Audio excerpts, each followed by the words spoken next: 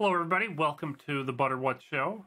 I'm Pat Regan. This is my co-host BrianCMoses.com from the the internet, and we're going to talk to you about internet networking things today. With uh, Brian and I have been using Tailscale for I don't know about you. I've been relying on Tailscale for about a year, but I've been using it for maybe a year and a half total so far. How about you? Yeah, probably right around the same amount of time. Um, you and a, a friend of ours, Chris, both told me you need to be looking into Tailscale as VPN stuff, and I kept telling you guys, nope. I've tried. I've tried to go down that path before, and it's too much work. I don't want to do it. VPNs are hard.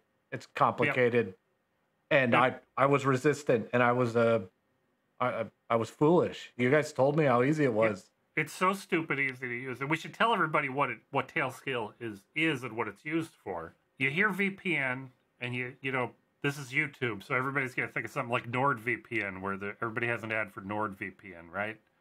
And that's something you connect to NordVPN and you route all your internet traffic through it, so that people in the coffee shop that you're connected to can't see your public browsing data, and that is absolutely not Not. what you would generally use Tailscale for. You can twist it into that role, but that's not what you're going to use it for. What Tailscale does is it makes a direct VPN connection from each of your own machines to every other machine every that other you own that you install the Tailscale client on.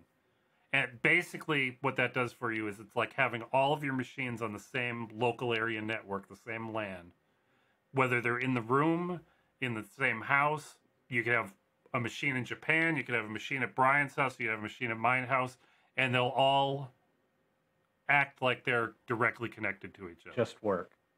And it just works. It's like magic. It has all the magic for punching through firewalls and finding ways around now like there's a there's a particularly nasty situation you can get into where both of your hosts are on the same carrier grade NAT. So they can't get back out and back in. They have to find a way to connect to each other. And Tailscale generally does a good job of making that connection so you're not going all the way out to the internet and back again. You get to stay within your carrier's network. Which but Tubby, what what are you using something like this for? What is what problem does this solve for you? Well, I mean, for a long time, I mean, ever since I built, ever since I built my first NAS, people asked me if I had it exposed to the internet somehow for accessing my data remotely. And for a long time, the answer to that was just no. I mean, I'd, if I had something, I would use Google Drive or Dropbox or whatever, and I would sync the data between my NAS and my my computers using Google Drive. Um, but now with Tailscale using its relay node, I I have access to my NAS, the Samba shares, the web interface, any of the any of the services that run on it, you know, wherever I am on either on any on any computer or phone. Um, and I decided to start running Nextcloud as well. I've got a, a virtual machine running on my NAS that's using some of the storage to actually replace Dropbox and Google Drive and and whatnot. Um, That's awesome. Yeah, I'm I'm real excited about that. I've I've just started to really Yeah. use it. Did you know I've officially saved money using Tailscale now? How'd you do that? Well, I have a, uh, I use a program called Seafile. I have a Seafile server uh, installed on a Raspberry Pi, and that Raspberry Pi has a 14 terabyte drive hanging off of it. And that Pi, yep, Brian's pointing to it. It lives at his house now. And what Seafile is, you can, it's open source client side encrypted Dropbox, is the way you can think of it.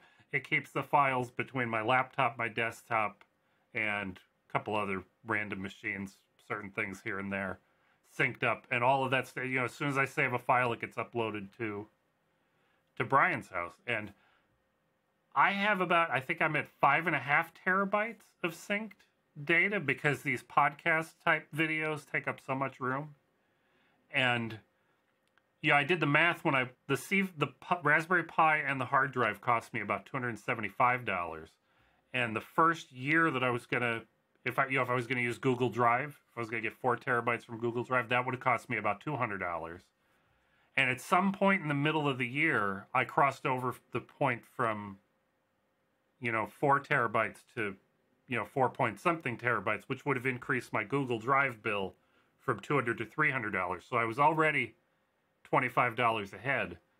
And this month I would be paying for my second year. So now I'm going to be 500 or $600. Well, not ahead. I'm going to be another $300 ahead pretty soon here. You did a good job. I think so. I think so I too. think so. What else are you using Tailscale for? Well, both of us have it installed on our PiKVM boxes. We do, yeah, we have. and what the PiKVM is, just the real quick, you know, 30 second message. It's a software you install on your Raspberry Pi, and there's a hardware that plugs into the top, and it lets you plug it into a computer as the computer's keyboard, uh, monitor, and mouse, and you access the Pi remotely over the network, which lets you act like you're virtually on the physical keyboard and mouse of that server. So I can hand this Raspberry Pi to Brian's parents. They could plug it into their laptop at home and we could remotely troubleshoot something because it'll automatically connect back to our network. That's fantastic. If- Isn't that amazing? Yep. I could have hosted a Seafile server without Tailscale, but I get to do it for free because Brian is lovely enough to hang it off of his gigabit uh, FiOS network at his house. Because of Tailscale, I don't have to worry about anybody breaking into it remotely over the internet. I have everything turned off on the firewall except for Tailscale. That it's basically invisible on Brian's network. I tried You'd to, have I tried to find it. He, he can't he even knows where it is and he can't find it. But it's cool. It's like it's on my own land. And it's on my land even when i take my laptop over to the park. It's still right there. What about your 3D printer? my 3d printer. yeah you're right. I didn't even put that on our list hubby. Yeah my octoprint server is on tailscale. So you know if i go down the street i could keep an eye on a 3d print with the you know the webcam if i want to. But that's not that's not a terribly practical thing but my octoprint and my cncjs for my shapeoko are both on Tailscale. You could go do some And- speed runs on your unicycle and, and monitor a 3D print between it's true between but dashes. you're you're using it for home home assistant aren't you for your home automation No, I wa- I am, but I don't use it much um, because of my SSL certificates. I need to keep it open. I need to keep my Home Assistant open to the internet for Google. But it, I'm going to pause here because this is going down a rabbit hole. The next version of Home Assistant closes that. You can access your your Google Home devices on your own network. I think. oh good I saw a video like today about it. I'm excited about that. So maybe in the near future, I'll cut the cord and I'll use Home Assistant and Tailscale. Yep, and I I never liked the idea of punching a hole in my firewall to forward a port to Home Assistant. I don't really want that Yep. exposed. I- And all of our phones report telemetry back to to Home Assistant. You know, like I use things like I keep track of battery charge and stuff in the dashboard, and I think that's pretty neat. It's Yeah. nice that that just always works. It always talks to the same IP, whether it's in the house or Yeah.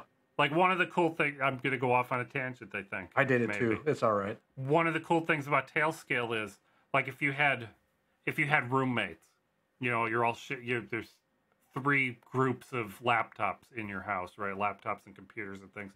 You could put your stuff on your Tailscale network. They could put their stuff on their Tailscale network, and you could block all your.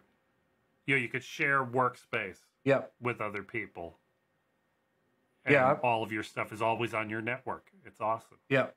Frank, the PiKVM is It's, it's a, so handy. it's so cool. I only use mine about once a year, but when I want to use it, I'm so glad I have it. It just lives in my. I have this uh, case, the zipper case that used to have headphones in it, full of. You know, there's a Pi, there's an HDMI adapter, there's all kinds of cables and SD cards and all kinds of nonsense in there for, you know, for just in case. Mine's plugged into my NAS right now. I don't know why. I haven't used. I mean, I haven't. I haven't used it. I always have an HDMI cable connected to my server, and it's long enough to reach the TV over here. So I don't really have to use the PiKVM if I ever need, you know, absolutely need video, but yeah. it's still nice to have anyway. There's a number of times where like I don't know what I've done. Left a cable unplugged and I can't reach my NAS and I want to get to the console. You know, I have to choose between hauling out a monitor, a mouse, a keyboard, hooking it all up and look at, or just hook up the PiKVM and sit back yeah, down and and it's done. and it's done. Assuming that the thing, the switch isn't the problem.